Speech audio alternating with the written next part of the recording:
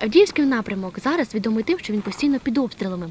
Бійці 79-ї окремо десантно-штурмової бригади пішли нам на зустріч і взяли на позиції, аби показати, як вони проживають, як влаштований побут та як себе веде ворог. Дістатися позицій нелегко, адже потрібно подолати кілометри болотяної дороги, в якій є міни та нерозриви, а місцями і перебігати обстрілювану місцевість. Хлопці зустрічають нас гостину по-українськи кава, чай і екскурсії у бліндажі. Зараз ми якраз заряджаємо всі павербанки наші, запустили генератор.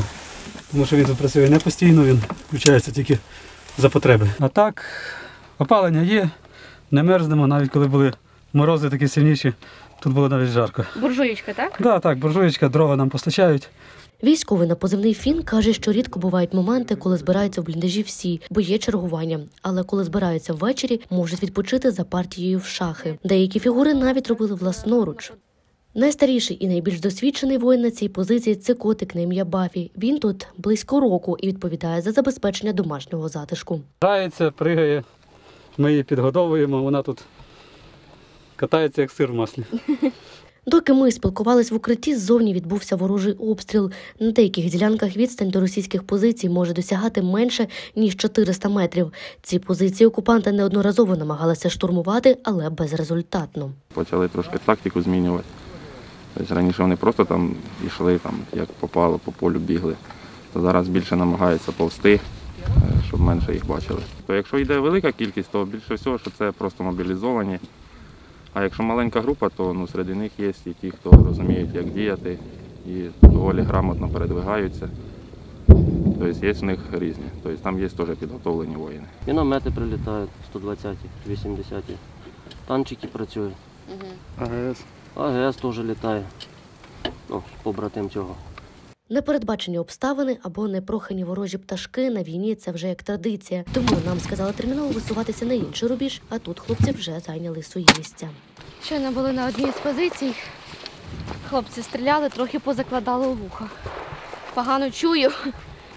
Але я далі йду впевнена, вже йдемо на іншу позицію.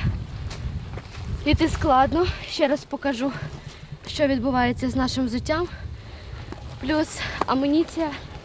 Справді важко. Хлопці так пересуваються щоденно.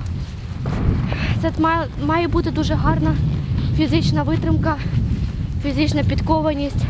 Але як говорять хлопці самі, коли стріляє, ти забуваєш і про вагу, і про те, що щось болить.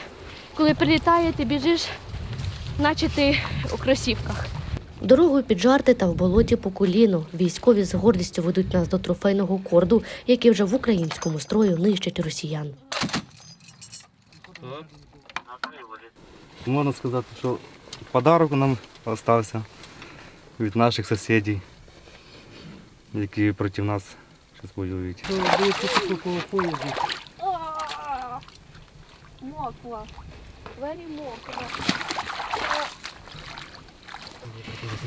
Це день з піхотою, десантниками. Я усвідомила те, що мені потрібно підтягнути фізо. Треба гарно харчуватися, щоб були бути моральним готовим, якщо є вибухи, гучні постріли. Тобто я не знаю насправді, як до цього можна готуватися, але треба себе морально налаштовувати на те, що буде гучно.